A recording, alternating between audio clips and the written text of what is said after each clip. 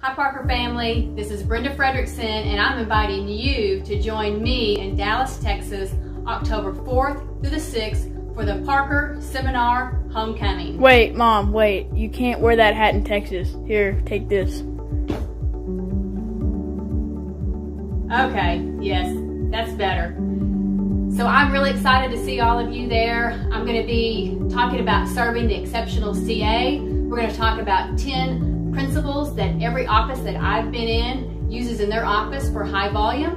We're going to talk about some marketing ideas and we're just going to have lots of fun. So again, join me October 4th through the 6th in Dallas, Texas, and let's do this thing Texas style.